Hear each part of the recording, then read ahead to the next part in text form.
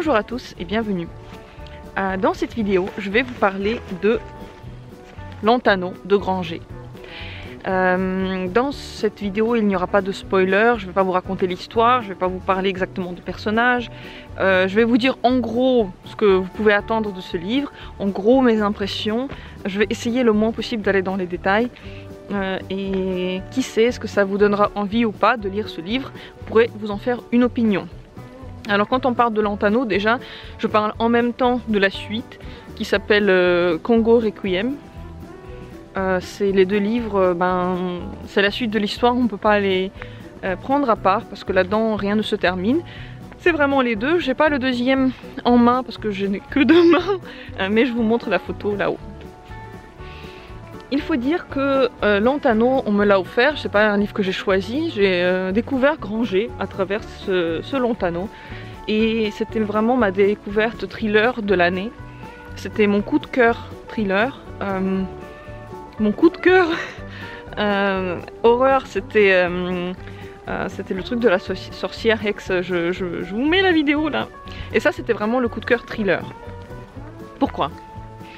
Tout d'abord parce que l'histoire ne ressemble pas forcément aux histoires qu'on lit tous les jours, parce qu'il n'y a pas que une enquête.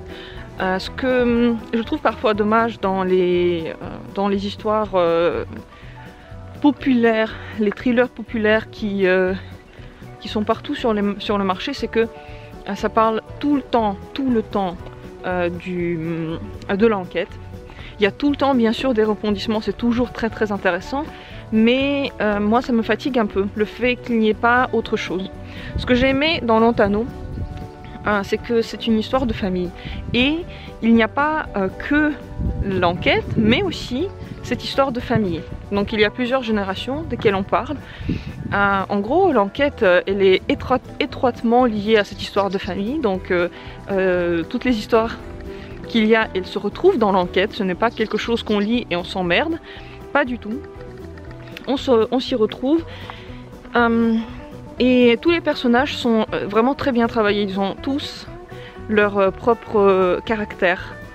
ils ne sont pas kitsch, ils ne sont pas hum, tout dans le noir ou tout dans le blanc. Et ça j'adore parce que souvent lorsque ah, souvent, voilà, euh, dans, les thrillers, euh, il y a le mec qui, mène l'enquête, c'est un enquêteur dont euh, la femme est morte et qui boit trop ou qui prend de la drogue et qui ne dort jamais et qui est toujours trop fatigué ou enfin vraiment il est dans une condition physique assez mauvaise d'habitude et il n'a pas de famille et il ne vit que par l'enquête.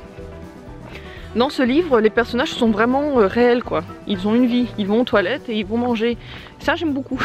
Il y a aussi des histoires euh, euh, un peu sentimentales qui ne gênent en rien l'enquête. Enfin, c'est pas un livre d'amour quoi, mais on voit que les personnages ils ont une vie à part, à part leur travail.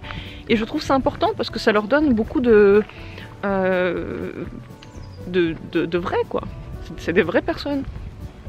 J'ai beaucoup aimé ça.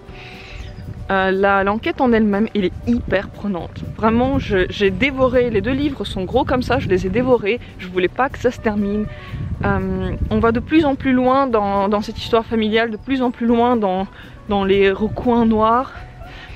Les, choses qui se passent, on ne s'y attend pas du tout, du tout, du tout, du tout. Donc euh, ça vous tient en haleine et oui, ce n'est pas fatigant. Les, choses qui se passent ne vous fatiguent pas parce qu'elles sont diverses. Ce n'est pas tout, le temps genre euh, euh, des grosses découvertes dans l'enquête et on se dit waouh, putain, ça va nous amener là.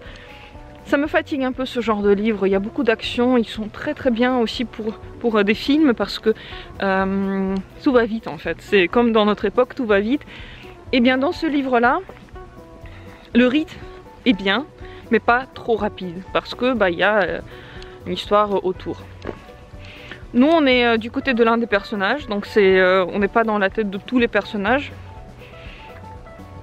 Je sais même plus si on va dans la tête des autres personnages à part un. Je me rappelle plus, je peux, peux pas vous le dire, peut-être que oui. Et les personnages ils m'ont rappelé des gens que je connais. Ça j'ai aussi bien aimé parce que on dirait vraiment que ils ont été calqués sur, euh, sur des, vraies personnes. Donc euh, c'était cool. Euh, Voilà, le père est le premier flic de France. Le fils aîné bosse de la crime. Le cadet règne sur les marchés financiers. La petite sœur tapine dans les palaces. Donc déjà, la, euh, la description qu'il y a derrière, on voit que euh, on ne parle pas que d'enquête, on parle vraiment de famille. Mais ne, pensez pas que ça va vous que vous allez vous ennuyer, surtout pas, parce que je sens que de ma description on dirait que qu'on s'emmerde un peu à écouter leurs histoires de famille, mais pas du tout. C'est tellement bien écrit, c'est tellement tout est tellement au bon endroit dit qu'on ne s'ennuie pas du tout. C'est vraiment euh, c'est que du bonheur. Euh, on m'a d'abord offert ce livre-là et ensuite j'ai dû attendre pour avoir le deuxième et c'était terrible parce que je voulais absolument vite, vite, vite connaître la suite. Bref, je ne peux que le conseiller parce que c'est un thriller de qualité, vraiment de qualité, qui se lit vite, qui est euh, le style, putain, rien à dire, pardon pour les... Pardon, je suis en train de jurer tellement je suis prise dans cette description, le style est magnifique. J'ai hâte de lire d'autres livres de Granger, c'est vraiment bête de moi que je ne l'ai pas fait avant. Euh, mais je peux, vous le conseiller. Lisez-le. Euh, il ne fait pas trop peur, c'est pas un truc dégueu avec que des descriptions horribles de meurtres, ce n'est pas ça. Euh, il est diversifié. Il, c'est vraiment le genre de livre qu'on peut lire des heures parce qu'il y a toujours un changement, il y a toujours des changements de lieu. on voyage aussi, euh, ça parle beaucoup d'Afrique, donc on voyage en Afrique, j'ai trouvé ça sympa, intéressant. J'ai tout aimé dedans, vraiment. En, un mot, j'ai tout aimé, je vous le conseille. Si vous cherchez un petit thriller pour l'été, pour l'hiver, pour euh, l'automne, ça, passe tout le temps. Et euh, je vous souhaite une très bonne lecture. Dites-moi si vous l'avez lu, si vous avez déjà eu affaire avec, à ce livre, laissez vos commentaires. Euh, n'hésitez pas, achetez-le. Vous allez adorer, je suis sûre. Je ne sais pas si quelqu'un peut ne pas l'aimer, je sais pas comment on peut ne pas l'aimer. C'est tellement, tellement bien écrit. Cette revue est un peu plus longue parce que je suis trop trop trop en love, en kiff. Euh, donnez-moi vos commentaires, dites-moi si, euh, si ça vous donne envie de le lire ou pas. Et je vous fais plein de bisous, on se retrouve bientôt pour d'autres livres.